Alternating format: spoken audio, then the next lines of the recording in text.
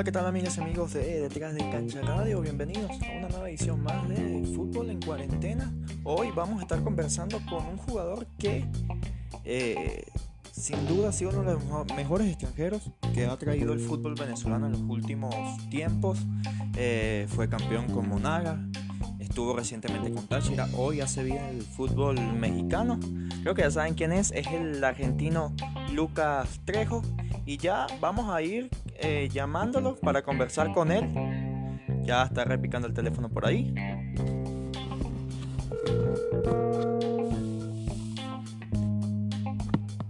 Hola. Lucas, ¿cómo estás? ¿Cómo estás, amigo? Un gusto saludarte, ¿todo bien? Todo bien, bienvenido a Detrás de Cancha. Muchas gracias. Bien, Lucas, de verdad. ¿Me escuchas bien o no? Sí, sí, se escucha perfecto, se escucha perfecto. Bien. Eh, de verdad agradecido contigo por, estos minutos porque bueno, eh, eh, realmente eres uno de los extranjeros que, realmente ha, tenido muy buen rendimiento en los últimos años en el fútbol venezolano y bueno, para mí es, grandioso poder conversar contigo en este momento. Muchas gracias por tu palabra, amigo. Bien. Muchas gracias. Bien, Lucas.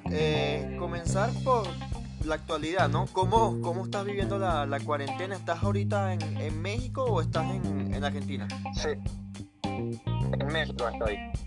¿Cómo va, ¿cómo va el tema de la cuarentena? Bueno, eh, la llevamos como todos, ¿no? Eh, si bien oficialmente el gobierno mexicano no decretó eh, una cuarentena, lo estamos haciendo por prevención, por decisiones personales de cada familia. En sí vos salís a la calle y te seguís encontrando con gente, ¿no? Pero bueno, la verdad que es muchísimo, muchísimo menos de lo que realmente suele haber en un día común. Pero aún no es una cuarentena oficial como si la han decretado en Venezuela o, o mismo en Argentina. Sí, realmente hay un, hay un poco de polémica en, eh, en cuanto a México por ese, por ese tema, ¿no? Y, y teniendo en cuenta esa postura del, del gobierno, eh, ¿cuál es la postura del, de tu actual club, el Zacatepec? Bueno, el fútbol mexicano en sí, eh, todo lo que es el fútbol profesional se suspendió. Decidieron suspenderlo por prevención, al igual que los entrenamientos. ya hace 8 o 9 días, hoy es martes, de hace 9 días que que nosotros ya no estamos entrenando por decisión del club, al igual que eh, todos los equipos del fútbol mexicano, eh, obviamente para tomar las medidas preventivas eh, correspondientes debido a, lo que es lógico, ¿no? este virus que está azotando a todo el mundo. Y, bueno, desde ese lugar acatamos ¿no? lo, lo, que pensamos que es lo mejor. nosotros terminamos jugando un fin de semana aún en contra de la postura de muchos, porque ya muchos no querían eh, jugar por el tema, ¿no? Sobre todo de los viajes, que vos tenés que pasar siempre por un aeropuerto para, para ir a jugar de visitante, o mismo si jugás de local, el visitante tiene que pasar generalmente por aeropuertos y, y era un riesgo muy grande debido a que eh, México es un país muy turístico, indudablemente siempre hay mucho movimiento. Entonces, bueno, eh, terminamos jugando de todas formas esa fecha, pero apenas terminó eh, la fecha, creo que era la número 8, ya suspendieron todo el fútbol. Ahora, eh, por lo que hemos podido ver en tus redes sociales, estás acompañado de tu familia, ¿no? Por lo menos. ¿Cómo? Que por lo menos estás acompañado de, de tu familia en esta situación. Sí, sí, sí, estamos juntos. Ellos siempre vienen después del periodo de pretemporada. Eh, ahí nomás apenas termina la pretemporada. Siempre en el país que me toque estar, ellos ya eh, vienen donde yo estoy y ya hace ya, eh, debe hacer dos meses y medio que están acá conmigo. Y, y, bueno, acá disfrutándolo en familia, disfrutándolo en el buen sentido por el hecho de que, bueno, esto te permite, si bien es muy negativo para todo el mundo, pero bueno, te permite pasar más tiempo con los tuyos, poder tener más diálogo con gente que por ahí no tenés tanto contacto, lo habías perdido, la misma velocidad ¿no? de la vida, de, este sistema te va llevando a que cortes relaciones o te olvides entre un mensaje y otro de hablar con cierta gente, entonces bueno, ahora paras un poco la pelota, te tranquilizas, estás en tu casa y tenés más tiempo para hacer un montón de, cosas. Claro. Ahora, eh, quitando el hecho de bueno de que el fútbol mexicano está parado en estos momentos, eh, ¿cómo ha sido tu, llegada a este club? Eh, ¿Cómo te recibió la, afición, tus compañeros, el cuerpo técnico? Bien, estupendo, estupendo. México era un país donde yo hacía tiempo que, quería venir a jugar. Tenía muchos amigos que habían estado acá y me comentaban un poco de, lo que es el fútbol mexicano, tanto la primera división como el ascenso. Si bien uno cuando le dicen segunda división tiende a subestimar un poco, pero el ascenso en México es una categoría muy fuerte. Te encontrás con jugadores de, mucha jerarquía, con, un, con una trayectoria importante y, y mismo México es un país que económicamente en segunda termina pagando mucho mejor que muchos países de primera división del fútbol latinoamericano. Entonces llegar acá para mí era un desafío y, era algo que yo venía buscando hacía rato, se terminó dando, gracias a Dios, y el recibimiento del club fue espectacular, nos tratan muy bien, los mexicanos son gente muy cordial, muy, muy respetuosa, eh, así que ha sido todo muy bueno, la ficción la verdad me brinda mucho cariño, eh, las primeras cuatro fechas no he podido estar por una cuestión de la visa, claro. Eh, no tenía los papeles para poder debutar, pero a partir de la fecha 4 ya lo, los tuve y pude empezar a, competir y la verdad que me siento muy contento y, y nos está yendo muy bien en lo futbolístico. Qué bueno, importante eso.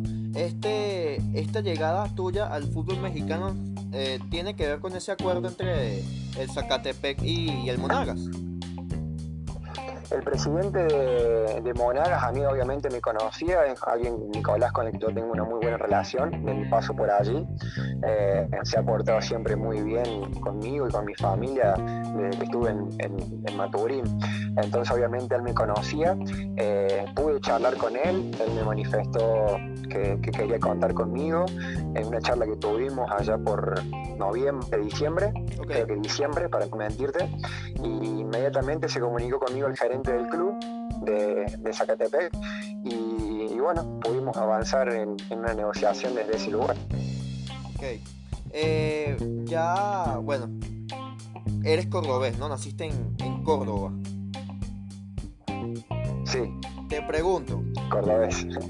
Equipo, equipo preferido, ¿Talleres o Belgrano? Ay, esa no, te, no la respondo nunca. no respondo nunca porque, viste, no sabes la vuelta del fútbol y el día de mañana dónde podés estar. Así que esa no te la puedo responder. Me la reservo, de las flores, de las flores de Córdoba, el club donde yo salí.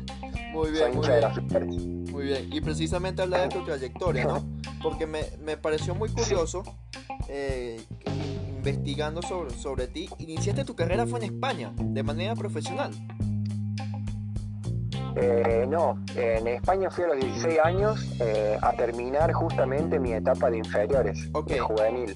Eh, allí era un proyecto que se llamaba la Academia Red, donde me, me termino acercando con el que era en ese momento el que manejaba todo ahí, que era Guillermo Hoyos, Ángel Guillermo Hoyos, un jugador con paso por, por, el Deportivo Táchira, no sé si a lo mejor lo recordarás. Sí, sí, sí, claro. Y, y él era el entrenador y él era el que, el que estaba a cargo de ese proyecto que lidera formar chicos, jóvenes, donde todavía eh, no habían pasado la mayoría de edad, con la ilusión de que el día de mañana nos preparemos de la mejor manera y podamos debutar en, en primera división y bueno, gracias a Dios así pudo ser porque terminé, terminé esa etapa en España y a los 18, 19 años me termino yendo a primera división del fútbol griego a debutar como profesional. Exactamente, estuviste tres, hasta, en tres clubes, tres años. ¿Cómo fue esa experiencia en, en, un fútbol, en un fútbol tan exótico a nivel europeo como lo es el griego? Bien, la verdad que Grecia es un país, la verdad, hermoso hermoso. El fútbol es muy pasional, el griego siente mucho eh, como fanático el deporte, ¿no? Lo puedes ver un poco en básquet, lo puedes ver en fútbol, ellos van, alientan, cantan, te prenden, te prenden bengala, son muy eufóricos. Entonces, en todos los estadios se vivía el fútbol de una manera eh, muy linda. Y bueno, yo debuto contra el Panathinaikos en mi primer partido de Panathinaikos, junto con Olympiacos, son los dos clubes más grandes de Grecia, claro. Entonces, bueno, había más de 40.000 personas, un partido hermoso, fantástico, para mí fuera, era todo nuevo y viví una experiencia eh, muy, muy linda. Tengo muy buenos recuerdos del fútbol griego y, es un país sumamente recomendable de lo futbolístico y, también de lo que es la vida. Tiene mucha historia Grecia Y precisamente, bueno, eso es lo que uno ve, ¿no? Mucha, mucha emoción, mucho, mucho amor hacia los clubes, por lo menos en lo, en lo que a fútbol se, se refiere, ¿no? Como decía, con el tema de las bengalas y demás. Después de... Sí, ellos tienen esa cultura.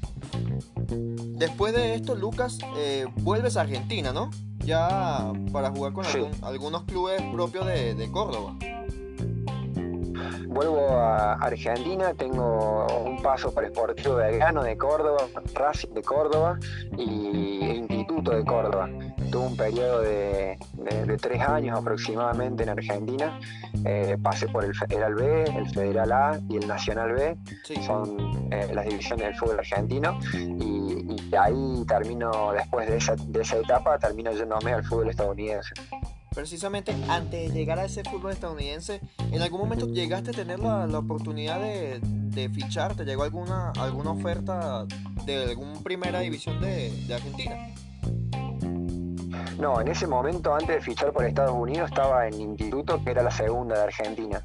Eh, en ese momento viene José Luis Villarreal, eh, un, técnico, pero había sido jugador en, su momento, jugador de la selección argentina, jugador de River Plate, de Boca Juniors, y él estaba dirigiendo un equipo en Estados Unidos y, bueno, siempre para un argentino salir al exterior es muy positivo, ¿no? Eh, nosotros somos de, esa cultura de niño, de, jugar en nuestro fútbol, de debutar también en primera, de cumplir los sueños, pero también tener la posibilidad de salir del país. Y bueno, a mí se me presentaban muchas veces esas posibilidades de salir del país. En ese momento cuando se acerca José Luis Villarreal y, me pide que, quiere contar conmigo para su equipo en Estados Unidos, eh, no lo pensé dos veces y, era la prioridad de Estados Unidos. No recuerdo en ese momento si tenía alguna posibilidad de quedarme en Argentina en, primera división, pero sí te puedo decir que era para mí un sueño poder llegar a Estados Unidos por lo que significa como país y, también por el fútbol, porque es un fútbol que estaba en crecimiento permanente y donde obviamente la calidad de vida es muy alta. Claro, y precisamente preguntarte de esa, de esa experiencia, ¿no? ¿Qué tal fue jugar para el Jacksonville? Sí, Jacksonville Armada, eh, un club que estaba en, la Florida y fue una experiencia hermosa. La verdad lo disfruté mucho. Éramos muchos latinoamericanos, mucha gente que hablaba español. Eh, el, cuerpo técnico, la verdad que era también argentino. la verdad que nosotros con los chicos siempre tenemos un grupo y lo recordamos ese año de una manera estupenda. Lamentablemente se terminó esa etapa porque bueno, el fútbol es así hay momentos y tiempos en, los equipos que se terminan y, nos tuvimos que ir y de ahí es donde llegó el fútbol venezolano. Sí, precisamente, ¿no? Acá, bueno, creo que vamos a, hablar un poco más en extenso, ¿no? Porque creo que es una de las etapas, pudiese decirse que es una de las etapas más, más bonitas de tu carrera, ¿no? Con el, con el Monaga, por todo lo que se logró para un equipo que, que primera vez que llegó a ser campeón. Sí, fue un desafío, fue un desafío porque en ese momento cuando yo arreglo para Monagas, Monagas eh, estaba último, casi en el descenso. Eh, había hecho una apertura muy malo y teníamos que hacer un clausura prácticamente entre los tres primeros lugares para poder salvarnos. Eh, cuando yo hablo con el presidente, que justamente es Nicolás Fernández, era un presidente muy joven, pero tenía mucha convicción sobre lo que quería para su proyecto. Y, la verdad que eso me gustó muchísimo.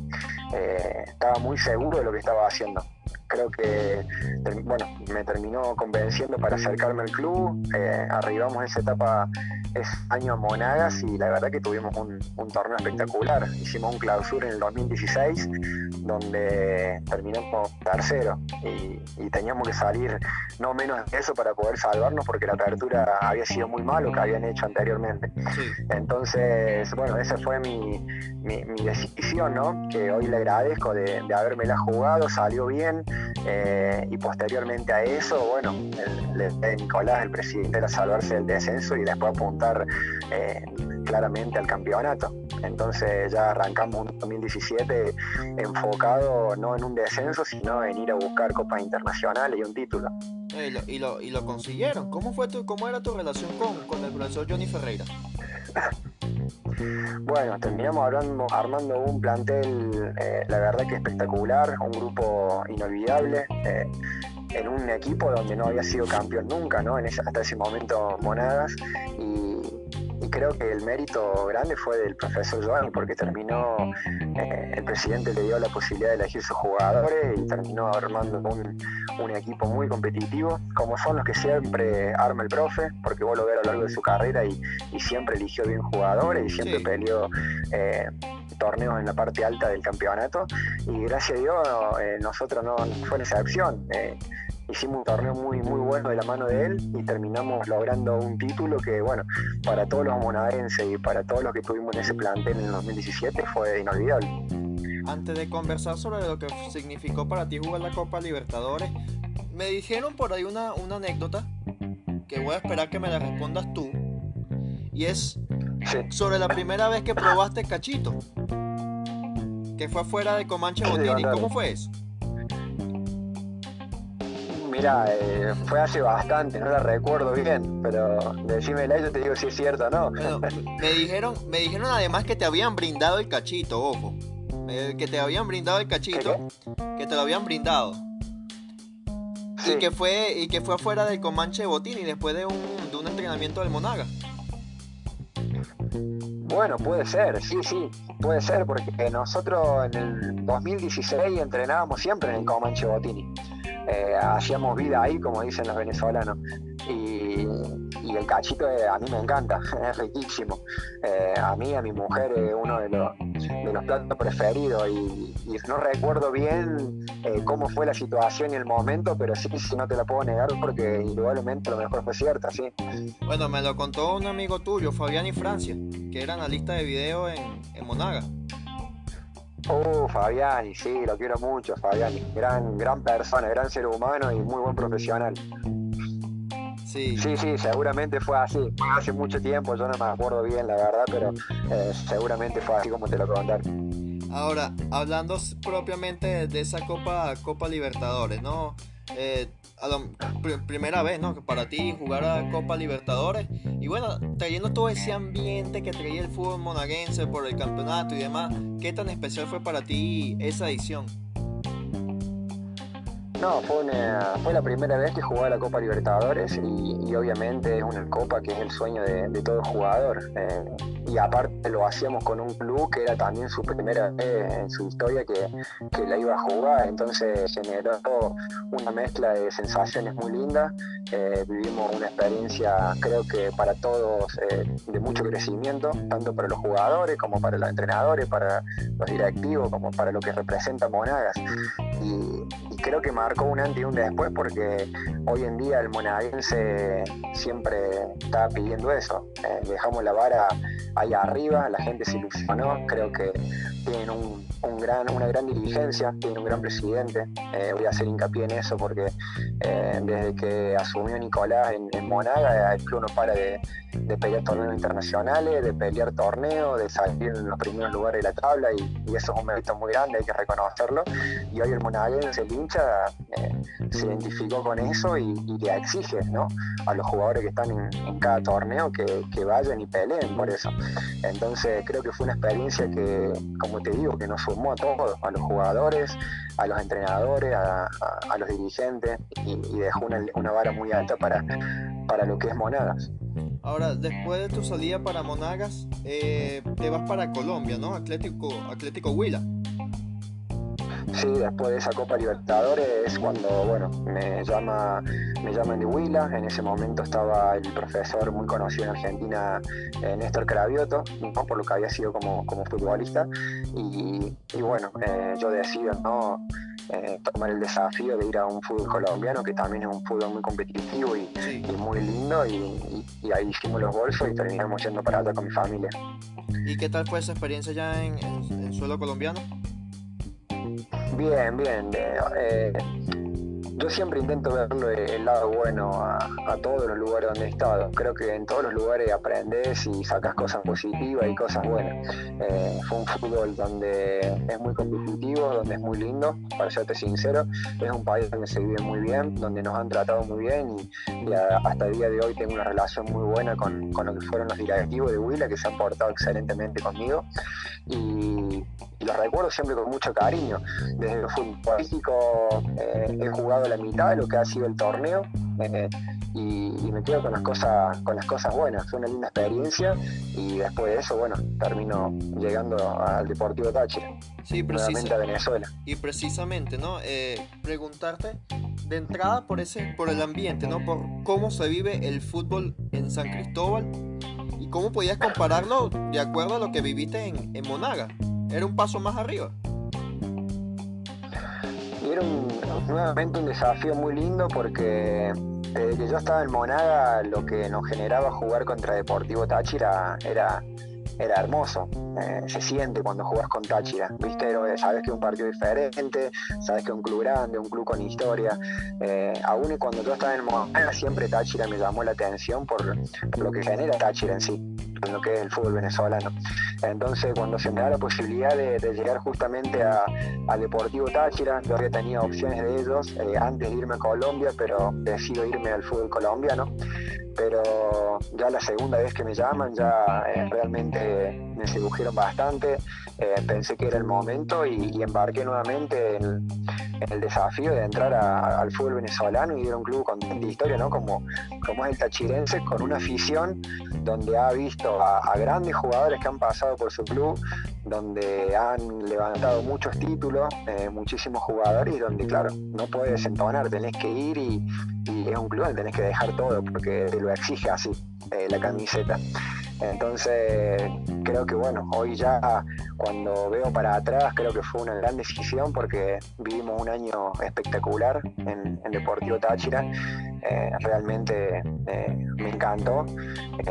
Lo recuerdo con, muchísimo cariño a la institución, me gané el cariño de muchísima gente que, hasta el día de hoy me escriben, pero mucha cantidad de gente, es muy fanático el tachirense y, la verdad que a mí y a mi familia nos sorprendió ¿no? lo, que genera esa institución dentro de lo que es Venezuela. Así es. ¿Y cómo fue también preguntarte, ¿no? ¿Cómo fue tu, tu relación con, con, el técnico Juan Domingo Tolizano? Ah, estupenda, estupenda. El profe desde que llegó eh, me llamó, me habló, eh, me dio la, seguridad de que yo con él iba a jugar, de que tenía que jugar todos los partidos, así me lo exigió. Si le haces una nota se lo puede preguntar. Eh, tenía que jugar Argentina en los 37 partidos, me dijo, y, bueno, nos preparó físicamente para que así pueda ser, porque si te fijas con él, jugué siempre. Si me perdí algún partido fue por lesión, pero casi el clausura estuve, lo jugué entero, no me perdí ningún partido, estuve sano todo el torneo, gracias a Dios, y, siempre lo recuerdo, profe, esa frase que me dijo, tenía que Argentina tenía que jugar 37 partidos, y hicimos una relación bárbara, Juan Domingo, un técnico muy cercano al jugador, muy joven, pero de un conocimiento tremendo. Creo que es, eh, sin exagerar, uno de los entrenadores que más futuro tiene eh, hoy en día en el fútbol venezolano uno, me imagino que uno como futbolista, bueno, obviamente pasa momentos buenos, pero también pasa momentos que quizás no, no le guste mucho recordar, ¿no? Pero, ¿cómo se vivió internamente, eh, Lucas, esa derrota, ¿no? Ante, ante Caracas en, en la final. Fue un golpe duro, fue un golpe duro porque habíamos hecho un torneo realmente muy bueno eh, habíamos salido primero con una diferencia de 10 puntos o más sobre el segundo en el clausura. habíamos terminado primero en, lo que era el torneo general, en la tabla general, eh, repuntando a Carabobo, que nos había sacado muchísimos puntos al principio y, y los terminamos superando en, número. Eh, terminamos logrando una liguilla que fue contra un metropolitano, perdimos 2 a 0, lo, dimos vuelta, metimos 4 goles en 10 minutos en San Cristóbal. Partidazo. Sí, era una serie de una atmósfera, una serie de sensaciones donde vos sentías que era un torneo que, era nuestro, por cómo se había dado todo, por cómo lo habíamos luchado, por, el fútbol que hacíamos, por cómo eh, estábamos jugando. Eh, entonces llegamos a la final con Caracas, que igualmente había hecho un gran campeonato, había sido, habían sido segundo en, clausura, también segundo en la tabla acumulada, creo que los dos equipos llegaban en, un muy buen momento, pero nosotros sentíamos que estábamos muy bien, teníamos un gran equipo.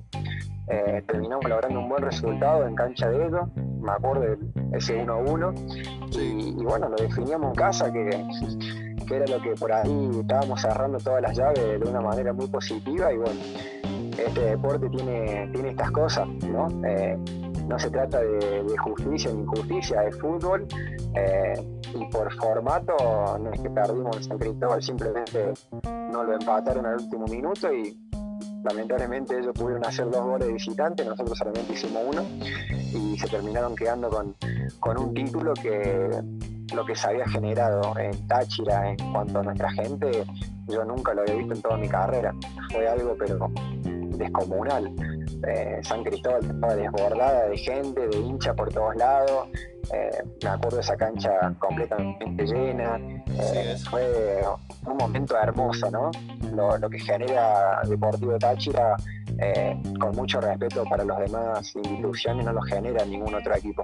Esa es la realidad. Y, y bueno, eh, el dolor queda, ¿no? De, recordar que se nos escapa faltando tan poquito. Claro, y precisamente, bueno, con, por eso que, todo, que dices que, viviste en Táchira, por ese cariño que, te tenía la, que tenías a la institución, a los hinchas, eh, ¿te costó salir, te costó tomar la decisión de, irte de Táchira ya teniendo, eh, pensando, ¿no? Lo que iba a ser este torneo, este, este año? Sí, me costó mucho, me costó mucho porque el presidente realmente me había llamado, eh, me quería sí o sí, se portó muy bien conmigo en lo que es Parque Silva, eh, me había hecho una oferta que, para el club, sabiendo las condiciones, era una oferta muy buena, habían hecho un esfuerzo, eso lo tengo que reconocer. Eh, me costó porque el entrenador me quería y tengo una relación estupenda con, con Tolizano y, él quería contar conmigo sí o sí. Y cuando vos encontrás que el presidente te quiere, que el técnico cuenta indispensablemente con vos, que la gente te quiere, porque el cariño que me llevé de San Cristóbal fue, aún perdiendo el título, fue enorme.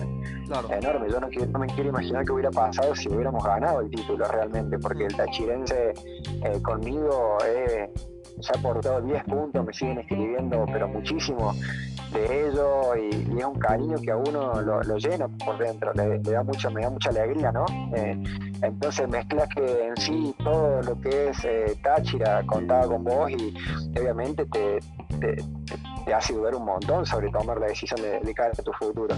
Pero bueno, como yo te dije antes, eh, para mí era un desafío. Eh, yo tengo 32 años, yo no sé cuántas veces más iba a poder tener la posibilidad de, llegar a un, a un fútbol eh, como, como el mexicano.